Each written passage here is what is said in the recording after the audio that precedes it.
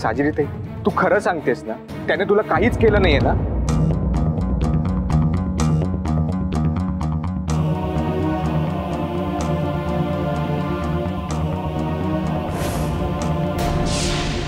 एक मिनिट एक मिनिट. काय? काय लागले तुला ताजी?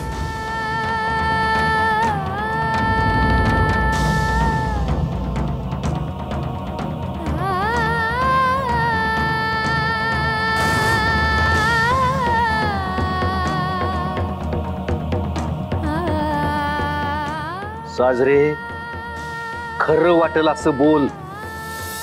तुला माहितीये, मी रागा रागात जाऊन त्या राजांचं मुंडकं पिरगाडीन म्हणून घाबरली तू. दृष्टांत म्हण दृष्टांत. तुला ठावाय साजरे. अंधश्रद्धा पाटील वाड्याच्या उमऱ्याच्या आत आली तर तिला बाहेर फेकून देतो मी.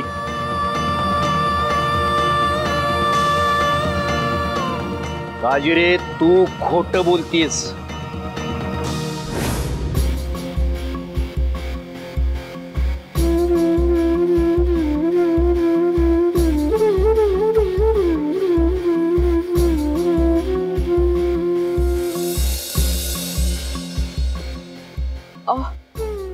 जरा थांबा की हो किती उलट तपासणी घ्याल पोरीची. थोडा वेळ आराम करू द्या तिला. जा. थोडा वेळ विश्रांती घे, जा.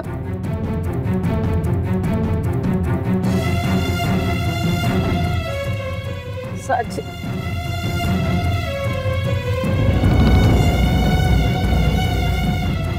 विलासा अरे, आपलं लेकरू सुखरूप घरी परत आलं हे देवाचीच कृपा म्हणायची. माऊली. ये. बस इथे. बस. मला सांग, कुठे होतीस तू? नाही ना बाहेर तू सगळ्यांसमोर खोटं बोललीस मला खरं हे बघ, तू अशी कुठल्याही साधूकडे वगैरे नाही जाणार, मला माहिती मला खरं काय झालं ते सांग. सांग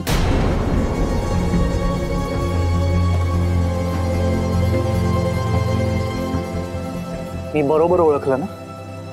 मग सांग मला खरं काय झालं होतं.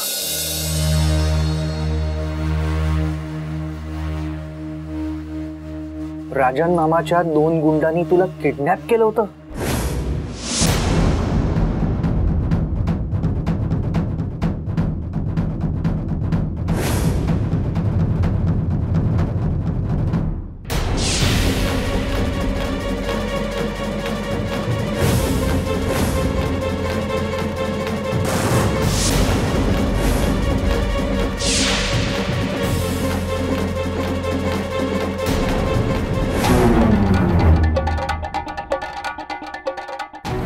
तुझी तुझी शुद्ध हरपली होती।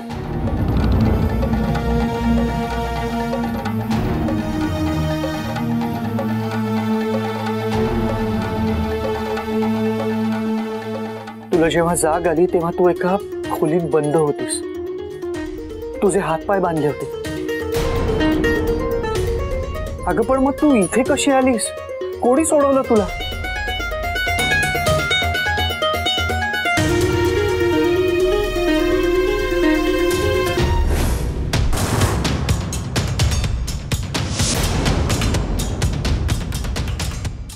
छबेले घे खाऊन ये, घे मी पण ना तू आहे मुके तुला नाहीत बोलता कशाला तोंड बांधलं तुझं। तर सोडतो तो। तू काय बोलती काय कळत नाही बघ मला। तू एकदम चिकनी छावी आहे बघ।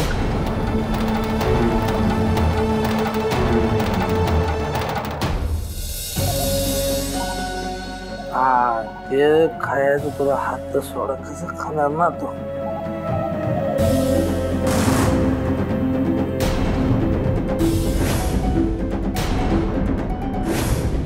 घे खाऊन ये मग बघतो तुझं काय करायचं ते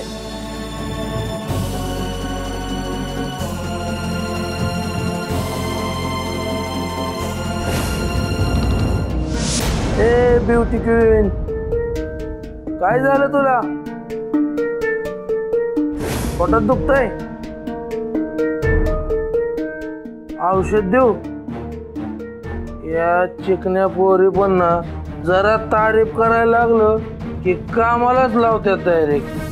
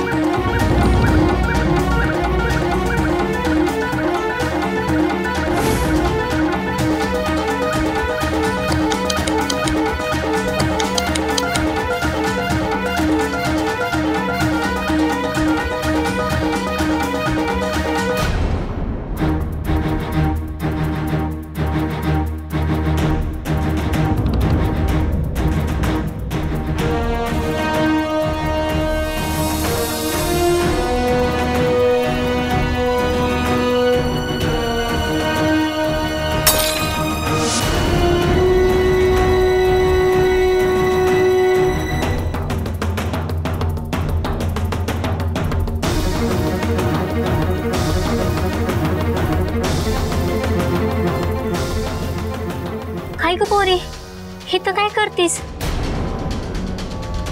बोलता येत नाही तुला?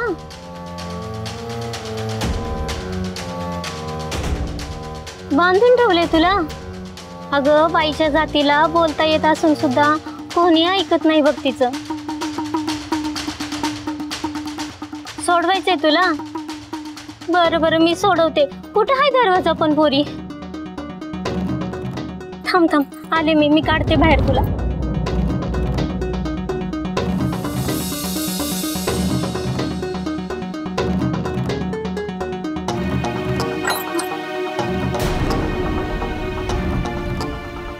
जा घरी.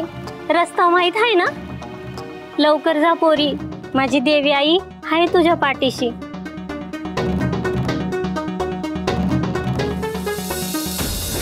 त्या बाईच्या रूपाने तुला देव भेटला असं वाटलं. अगं, पण मग ही सगळी गोष्ट तू बाहेर का नाही सांगितलीस? का गप्प बसलीस तेव्हा?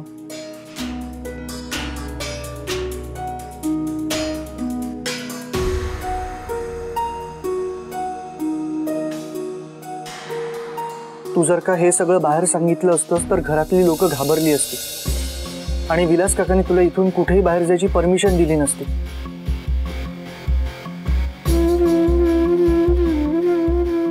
तुला माझ्यासोबत ऑफिसला येता आलं नसतं.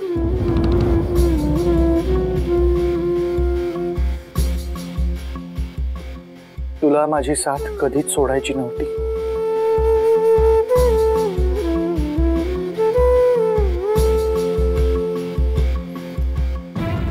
शिवाय विलास काकांना दिलेलं चॅलेंज पूर्ण करण्यासाठी आपल्या हातात खूप कमी दिवस शिल्लक आहे.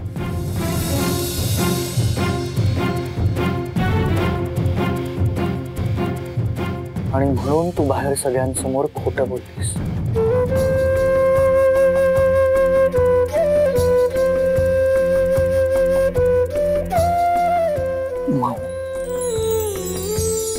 तू नाहीशी झाल्यानंतर एक क्षण मला असं वाटलं की मी कायमचं तुला गमावलंय.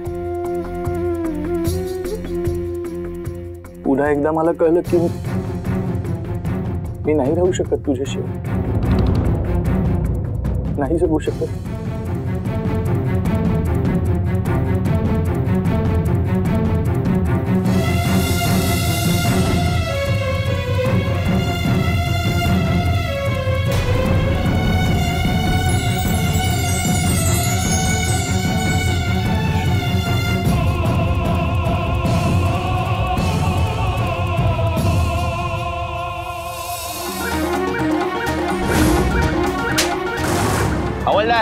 बेड्या ठोका यांना.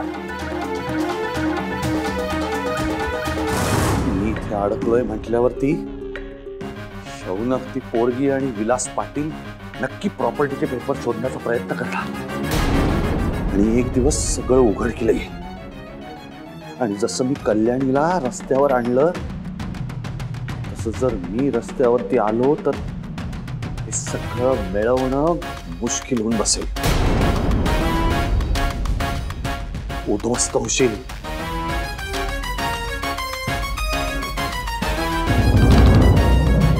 उद्ध्वस्त होशील राजन सर देशमुख जे मिळवण्यासाठी धडपड केली ते सगळं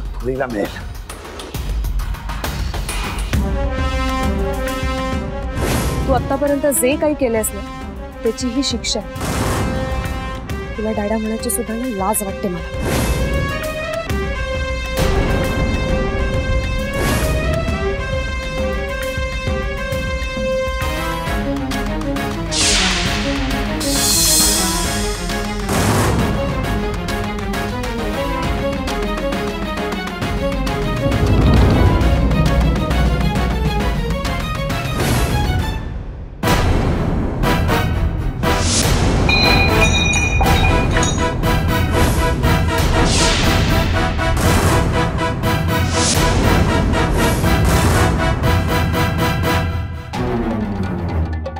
काय सरदेशमुख अहो, तुमच्या ढोंगबाजीची नाटकं इथं पण चालू का? काय नाटकं लावल्यात? उठा उठा तिथं बसा जाऊन.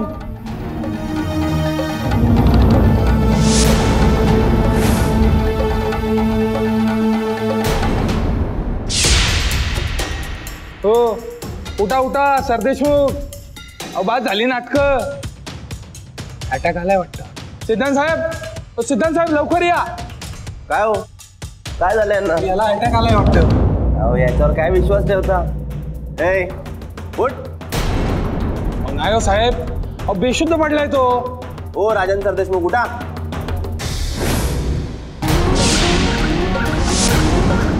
हो शिंदे. ॲम्ब्युलन्सला फ़ोन करा पटकन.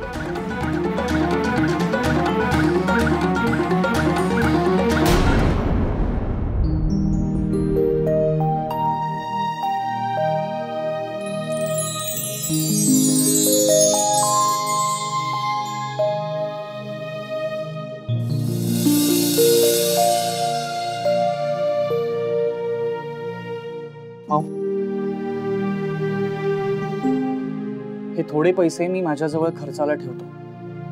अडीअडचणीला उपयोगी पडतील. याच्या व्यतिरिक्त आपल्याकडे पंचवीस हज़ार रुपये शिल्लक राहील. घे. राहू देत तुझ्याजवळ. कमवलेले सगळे पैसे खर्च झाले. आता फक्त एवढेच पैसे बाकी आहेत आपल्याकडे.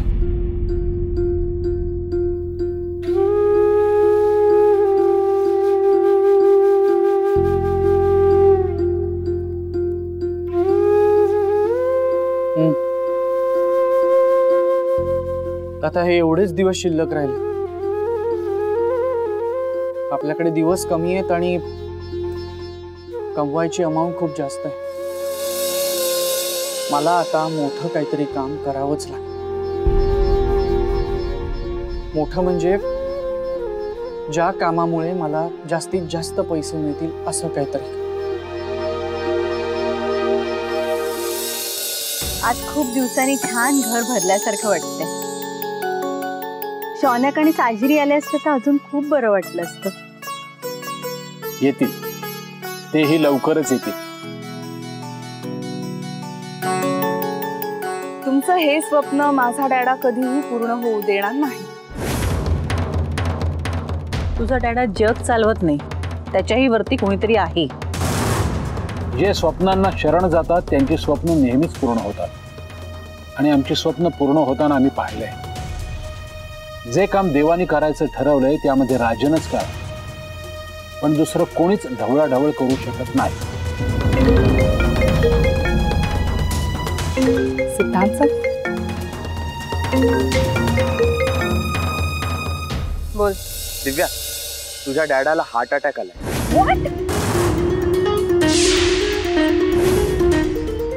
म्हणजे माइंड अटॅक आहे. आम्ही त्यांना गव्हर्नमेंट हॉस्पिटलमध्ये ऍडमिट केलं गव्हर्नमेंट हॉस्पिटल? माझ्या डॅडाला गव्हर्नमेंट हॉस्पिटलमध्ये कशासाठी ऍडमिट केलं तुला ए दिव्या गप्पा बस. काकींना सांग आणि लवकर या इथे. गव्हर्नमेंट हॉस्पिटलमध्ये. त्याला एक hello hello Divya. Hello. Divya अगं, दिव्या काय झालंय? डॅडाला माइल्ड हार्ट अटॅक आलाय. हो मी- मी आता निघते. डॅडाला माझ्या घरात असेल. थांब मी पण येते तुझ्या बरोबर. ताई मी येते जाऊन. हो हो वैशू तू निघ. हो आलेच. फ़ोन कर. हो. हे नाटक नसेल तर नियतीनं न्याय केला म्हणायचा. नियतीला घाबरून असावं माणसाने. काय? नाही नाही. शक्यच नाही. राजनला नाही अटॅक अहो, ज्याला हार्टच नाही, त्याला अटॅक कसा येईल? अहो ते बियाणं किती कडू आहे माहितीये ना तुम्हाला? एक नंबर नाटकी आहे ती. हा. काय? खरंच आलाय अटॅक बर. डॉक्टरांना म्हणावं सगळी घाण उपसून काढा त्याच्या हार्ट मधली. म्हणजे होईल बरा. ठीक आहे ठेवतो. आर्याच्या बाबांना खरंच अटॅक आलाय हा आत्याबाईंचा फ़ोन होता. अर्धा जलम लोकांना त्रास देण्यात गेला. पडला बिछाण्यावर. या हातात त्या हातावर फेडावं लागतं बघ आई. ये ये ये शौनक कळलं का? तुझ्या मामाला अटॅक आलाय म्हण हार्ट अटॅक अहो नाटक करत असेल तो. बघ याला म्हणतात कॉन्फिडन्स किती विश्वास आहे बघ याचा मामाच्या पंपकपणावर हा? जेवणक खरंय तुझ्या आईचा फ़ोन आला होता आता. त्याला अटॅक आला. येवानं बहुतेक सिग्नल दिला त्याला. आता तरी ताळ्यावर ये म्हणून. नाहीतर काय? अरे त्याच्याकडे समज रुजू झालेलं असतंय. आपल्याला वाटतं कुणाला काय बी कळणार नाही म्हणून. पण त्याची वरच्याची नजर समद्यांवर असते. हा. हो ना. आणि ते सर देशमुखांचं ना जरा आधीच चालू होतं बघ. अहो बाहेरच्या लोकांना जाऊ दे. स्वतःच्या बहिणीला आणि मुलीला पण नाही सोडलं त्यांनी. नाहीतर काय? बस बस बस. आता श्रद्धांजली व्हायला घेऊ नका लगेच. अजून जित्त आहे तो.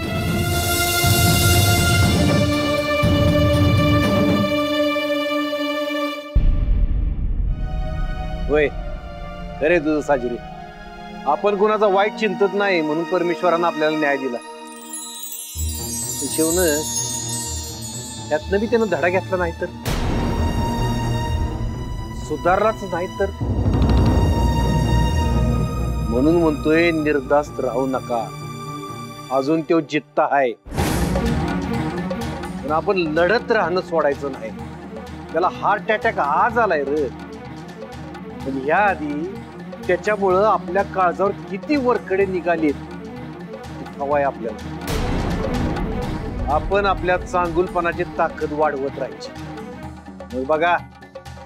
आपला भलेपणा त्याच्या कसा मात करतोय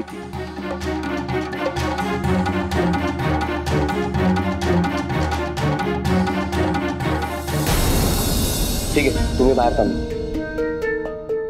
डॅडा डॅडा काय होतंय तुला तुला नी त्रास दिला ना। ए दिव्या काय बोलतेस तू? कधी झालं हे? आणि आता बरे आहेत ना? वैशाली काकी काळजी करण्याची काही गरज नाहीये. माइल्ड अटॅक होता. त्यांची प्रकृती आता धोक्याच्या बाहेर आहे असं डॉक्टरांनी सांगितलंय. ओके? नक्कीच तू टॉर्चर केला असणार. नाहीतर असं कसं होईल अचानक त्याला? हे जर तू केलं असशील ना सिद्धांत मी नाही सोडणार तुला.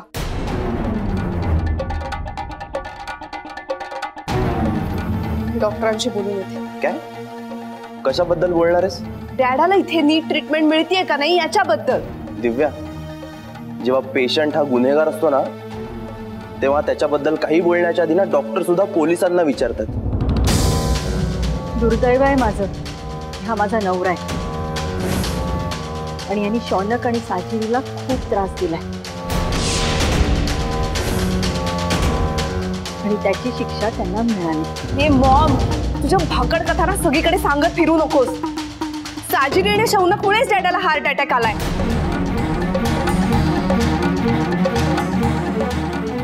याची शिक्षा मी देणार आहे.